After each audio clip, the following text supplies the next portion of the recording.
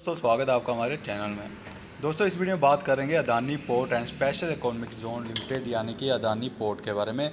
दोस्तों, आज के दिन की बात करें, अभी तक ये शेयर हमें 0.68 परसेंट ऊपर जाता हुआ देखने को मिल रहा है। और अगर पिछले सिक्स मंथ का चार्ट ओपन करूँ तो ये शेयर हमें दो चार सौ की रेंज तक आता हुआ देखने को मिला था, लेकिन उसके बाद एक बार फिर से इन्वेस्टर का भरोसा है, ये शेयर जीतता हुआ देखने को मिल रहा है और ये शेयर धीरे धीरे से लेकिन रफ्तार पकड़ता हुआ देखने को मिल रहा है। जब इस शेयर में एलिगेशन लगाए थे, तब ये शेयर काफ़ी ज़्यादा हमें नीचे जाता हुआ देखने को मिला था, लेकिन उसके बाद अब उस ग्रुप का भी कोई अता पता नहीं है, किस हिसाब से उन्होंने एलिगेशन लगाई थी। उन्होंने सिर्फ़ एलिगेशन लगा के शेयर में ब्लड बात ले आई थी, लेकिन उसके बाद अब अगर पिछले एक मंथ की बात करें या फिर दो मंथ की बात करें, शेयर धीरे धीरे से ही पर रफ्तार पकड़ता हुआ देखने को मिल रहा है। लेकिन उसके बाद आज के दिन एक बहुत ही अच्छी न्यूज़ देखने को मिली है, आप यहाँ पे देख सकते हो।